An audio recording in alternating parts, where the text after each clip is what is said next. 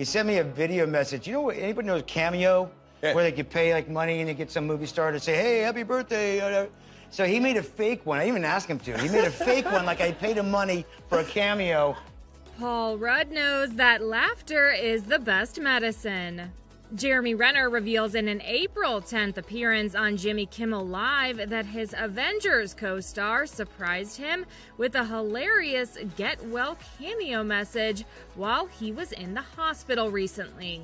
Jeremy arrives on Jimmy's show walking with a cane and looking very happy to be there. He, of course, has been recovering from a devastating New Year's Day snowplow accident that broke more than 30 bones in his body. But lucky for the Hawkeye star, his famous friend Mr. Rudd knows a thing or two about keeping spirits high.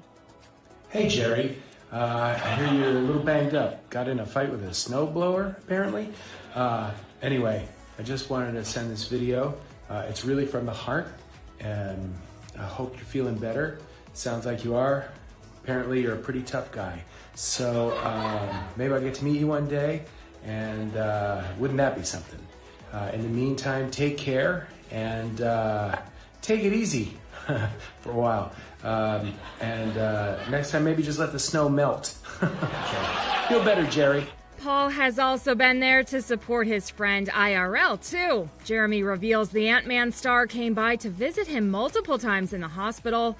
Jeremy's fellow Marvel stars and former The Hurt Locker co stars Anthony Mackie and Evangeline Lilly have also both supported him amid his recovery. Elsewhere in the interview, Jeremy explains how he is lucky that the accident wasn't much worse, proving that he really is a real life superhero.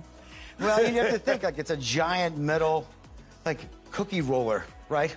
Yeah. And uh, it just missed every vertebrae, right? Didn't hit any organs. Didn't my brain didn't swell, nothing like that.